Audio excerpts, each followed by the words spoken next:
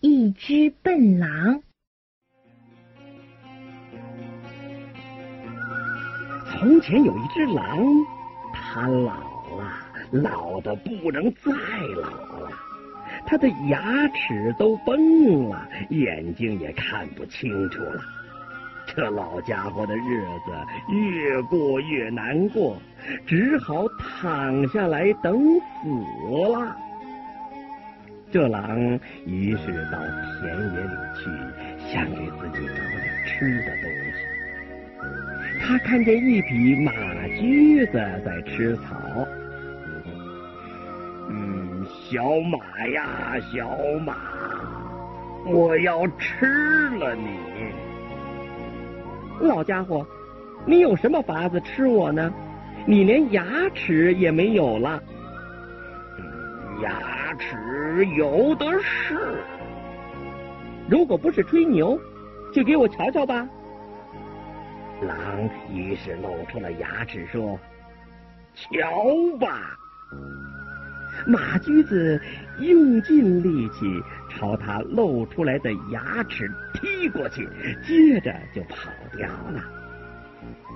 狼跌得失去了知觉，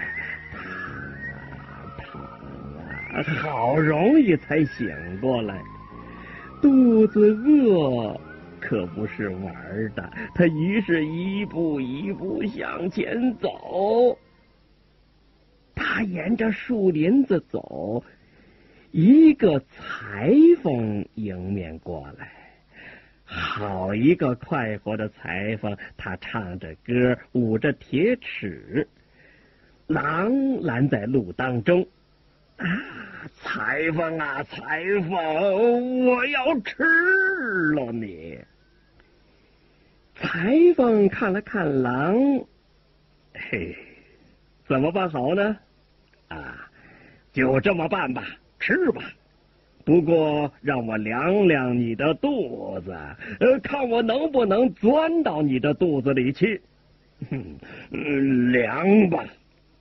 狼说：“不过快点儿，我想吃，想的不耐烦了。”裁缝走到狼的背后，一把抓住狼的尾巴，卷在手上，拿起铁尺朝他身上两边乱揍。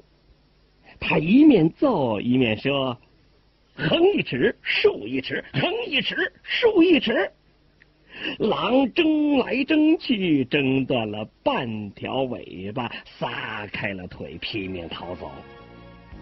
狼一步挨一步走，一路舔他的伤口。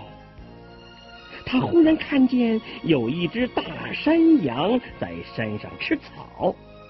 嗯，山羊啊，山羊，我要吃了你！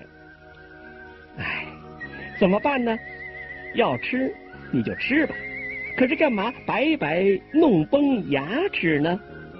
你最好站在山脚下，把嘴张得大点儿，我打山上冲下来，直冲到你的嘴里去。狼站在山脚下，张大了嘴等着。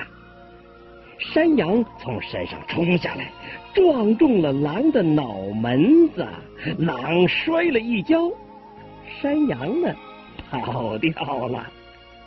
狼醒过来，就站起来暗想：“嗯，我吞下了山羊没有呢？